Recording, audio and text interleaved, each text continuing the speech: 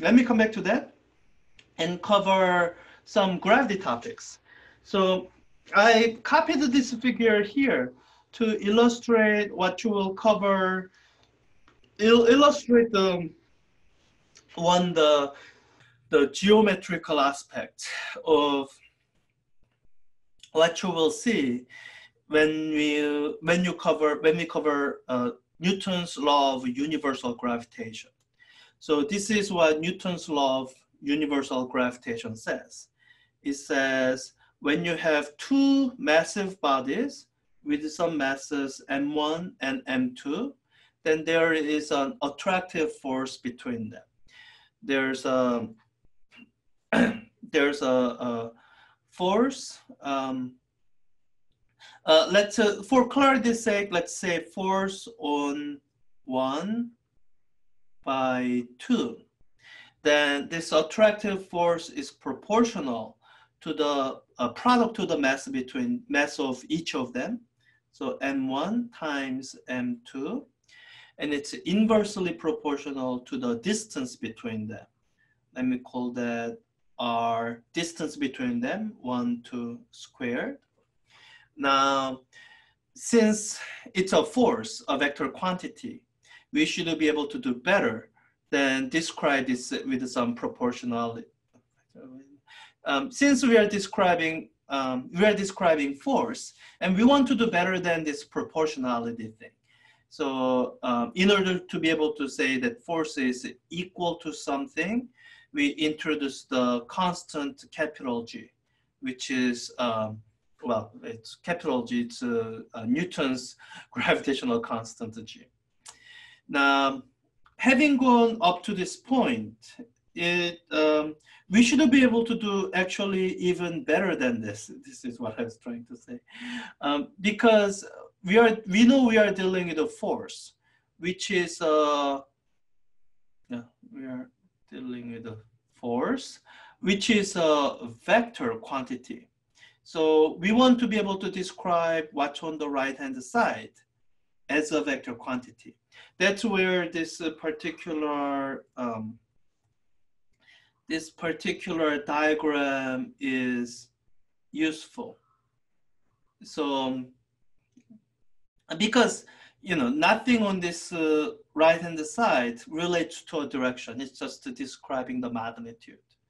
So now you need a, you need a vector that matches up with the direction of this vector to give you, um, to give you a, a vector quantity. So you say, all right, um, so if it's a force on object one by two, uh, so Newton's law of universal gravitation, it's describing an attractive force. So this force uh, on one by two has to point in the direction of the, of the object two. So um, to help describe all of this, you define a unit vector R12, which points from mass 1 to mass 2. Then to attach a sense of direction to this expression here, all you have to do is say the, the gravitational force is this magnitude times R from 1 to 2 now, there's something that's a, a bit um, not quite satisfactory uh, about this particular description.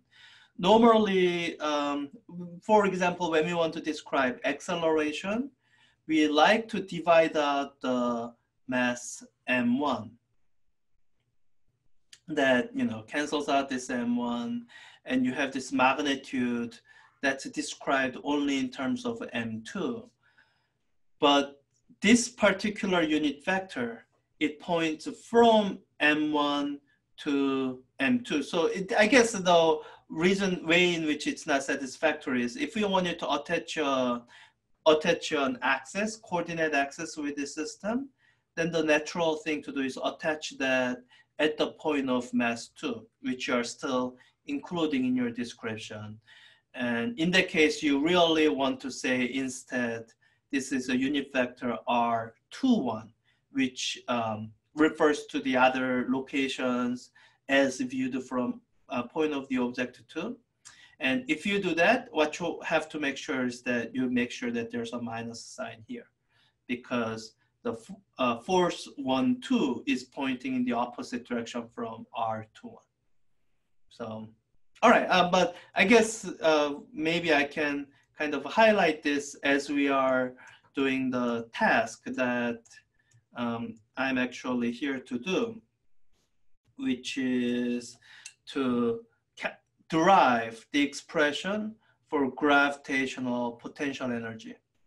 So uh, maybe let's do that. Um, doing that will also give you uh, another way to uh, to be careful about how you handle directions as you're describing the the law of uh, as you're describing um, universal gravity.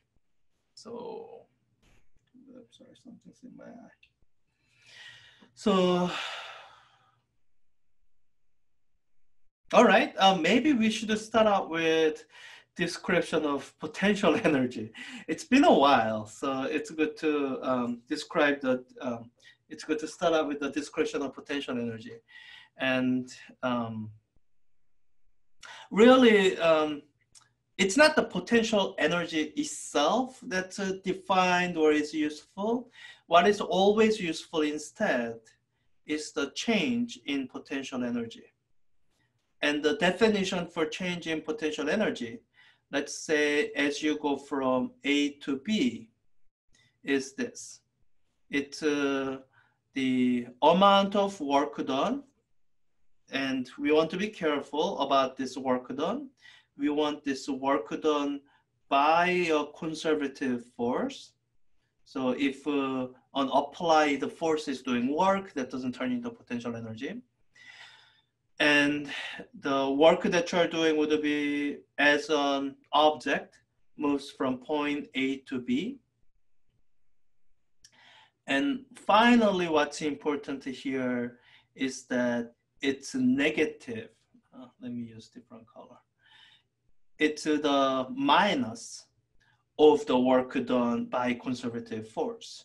You attach a conservative force doing negative work as a positive change in potential energy. Or if the work done by conservative force is positive, then that ought to be associated with a negative potential energy because positive work done involves uh, potential energy decreasing, so the kinetic energy can increase. So, so this is how we always describe potential energy.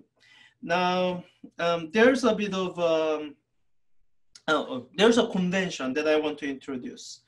So this uh, this a change language, you know, change from A to B, that makes it hard to have a kind of just a simple expression for potential energy.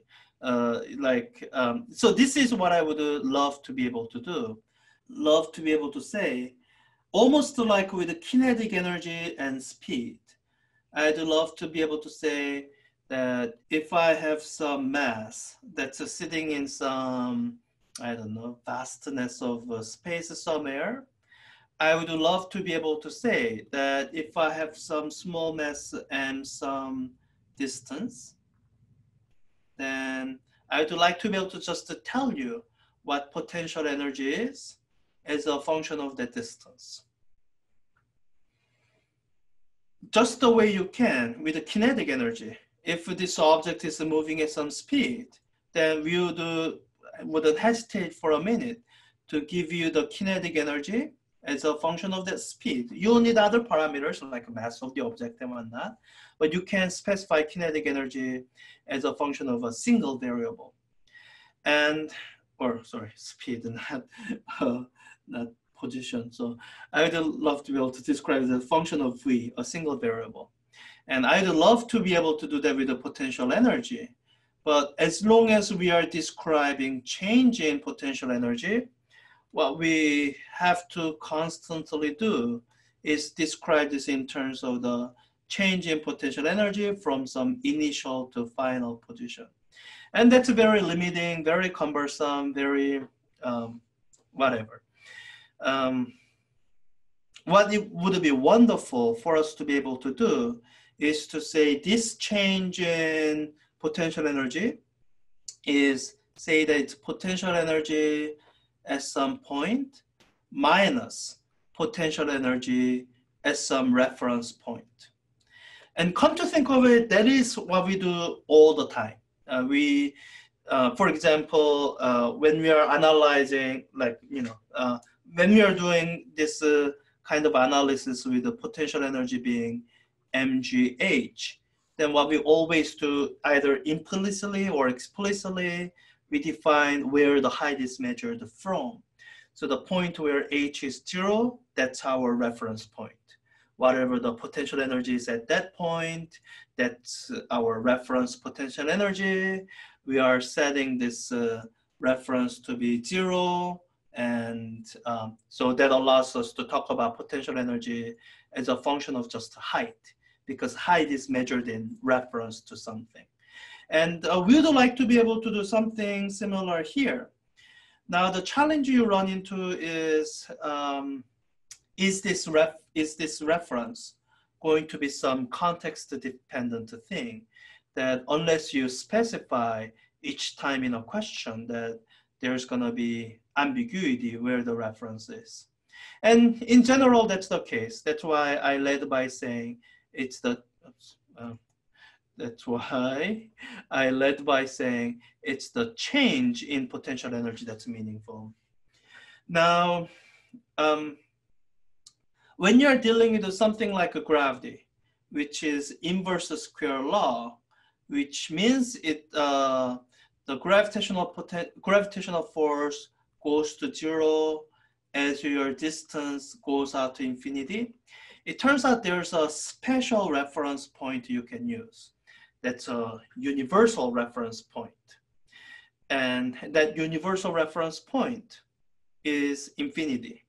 It's uh, analogous to um, uh, our Earth-based navigators using the stars as the as the reference point because the stars are so far away. Whether you are uh, wherever you are on the Earth, you see the same set of stars or um, I mean, you know, depending, well, so uh, however much you, your position changes around the earth, that doesn't change your distance to the stars very much. So that's what we would like to do here.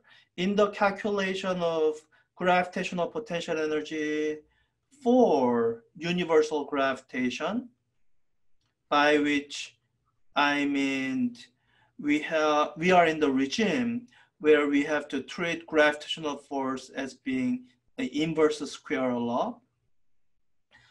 We want to um, we want to treat this point A as not being some generic point A, but infinity. This is our universal reference point for gravitational potential energy. So let me do the calculation of gravitational potential energy using, oops, um, using this as the, using this as the premise. This is, um, this is kind of the uh, paradigm that I'll use to calculate the change in potential energy. Then, um, so then this is basically what you have. So to calculate this change in potential energy, what we have to do is we have to calculate the work done as the mass moves from infinity to a particular point, B, and uh, work done by gravity. Once we calculate that, we can just put minus sign in front of it. That is the definition of change in potential energy. Now, the, from the moment you think about doing this, uh, you should uh, run into this conceptual problem. So we define work this way. Work done is force dot product with displacement. Now, here's the conundrum or dilemma or whatever. Um, oops, sorry, went a little bit ahead of myself. Um, in this particular calculation, it looks like my displacement is infinite, coming in from infinity to some finite distance. The distance is infinite. So how is the work done not infinite? This is where you have to realize that your force is a variable. So when you are infinitely far away, your force was zero. So um, so when you do this calculation carefully, this uh, force dot product with the displacement won't turn out to be infinity, but instead it will turn out to be some finite quantity. And so what you have to um, so what you have to realize here is that you can't just use this uh, simple formula directly. Instead, you have to deal with the variable force. So what you are going to do is you are going to calculate a small infinitesimal amount of work done um, as the as the object here as the object here moves an infinitesimal distance dx and when you make this interval dx small enough you can say that the amount of force that's acting is um, it's more or less constant even though it's a function of r, it will be varying over a large enough interval. You say that, um, so imagining this, uh, this interval, taking, uh, taking it in from infinity, you imagine breaking this up into small enough interval that for each of these small intervals dx, you can say that the um, that this distance r is more or less the same.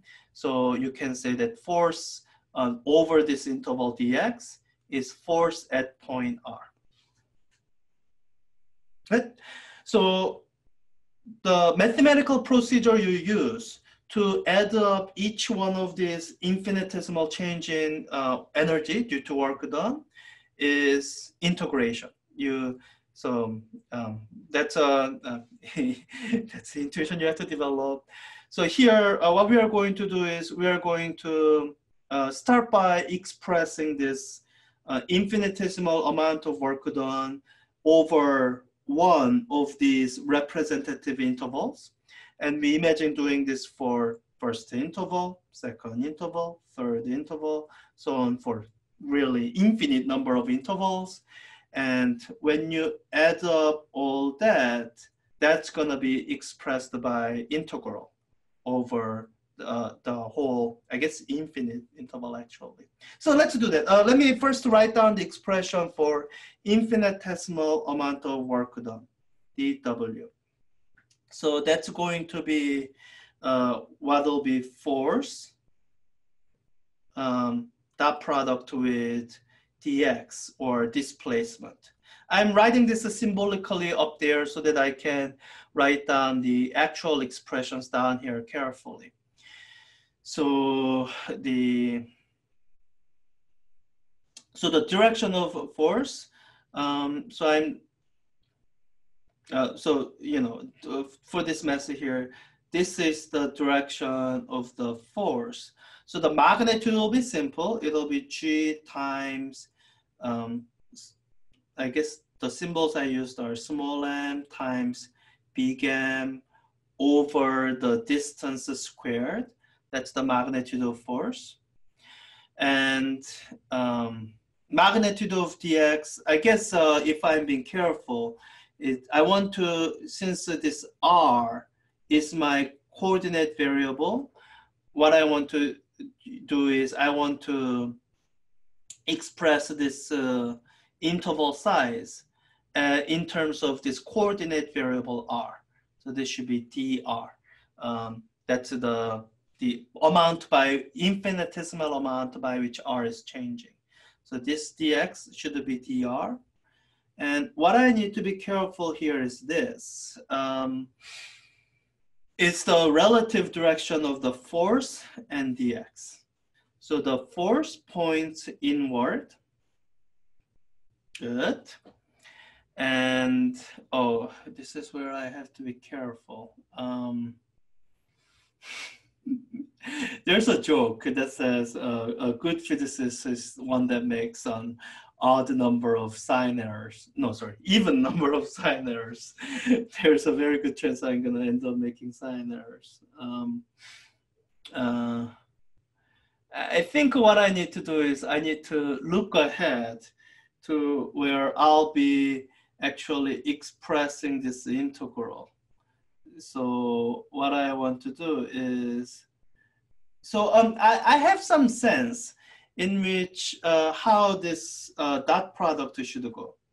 This dot product here, it should give me a positive number because the force and the displacement is going in the same direction. So over this uh, interval, gravitational force is, is doing positive work, which will, will result in negative potential energy change. So when I'm all done, when I do this integration, when I integrate this infinitesimal change over the whole interval, and that means I'm going from r equals infinity to some, um, oops, maybe I should start, uh, to some particular fixed point r prime, then I want this uh, entire quantity to come out to be positive. So um, what I do is I make sure I choose the correct signs to be sure that's what happens. Um, so I guess uh, what I'm trying to get at is, um, so because the force is pointing towards the origin, I need to have minus sign here. That, that's one part. I think that much uh, makes sense. And now for this interval portion, even though my uh, displacement is also pointing towards the origin, I'm going to leave this dr alone. Reason being this, my interval go going from infinity to r prime, that already accounts for this inward direction. And I don't want to double count for the inward direction by also putting a minus sign here. So I'm going to omit the minus sign here. And really what my check will be is that when I do this integral, I better end up with a positive number. If I don't, then I made an, an odd number of sign errors and I should just fix the sign so that the final answer comes out right. This is where in, good intuition is useful. Um, all right, so let me, uh, let me do this calculation. I, been talk, I talked a lot, let me finish this math and be done with it. Uh, this is one of the, um, I don't, I guess you still call this polynomial integral. Um, so this is, uh, let me pull out all the constant quantities. Uh, constant quantities are minus g m m. So what remains here inside the integral is dr over r squared, r going from infinity to r prime. Uh, this integral, hopefully everyone knows how to do it. Uh, this is a polynomial integral of this form, r to the power of minus 2 dr. So uh, when you integrate it, you should get uh, the antiderivative for this should be um, minus r to the minus 1. That should be the antiderivative. You can always double check your antiderivative by taking derivative of it that brings down a factor of minus one, canceling out this minus, and then the exponent changes to original minus one, so you get minus two. That seems right. Always double check your antiderivative when you're doing it in your head. So with that, uh, what we get for this integral is minus g m m, the antiderivative, minus um, r to power of minus 1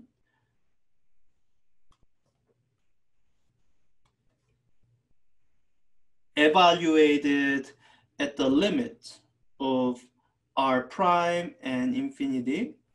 So uh, finish writing this out, it uh, um, minus r prime or minus 1 over r prime uh, and minus minus so plus 1 over infinity or I mean there's a proper way to write it. However you write it the end result is that this term is zero. Um, so I have this quantity here which has two minus signs.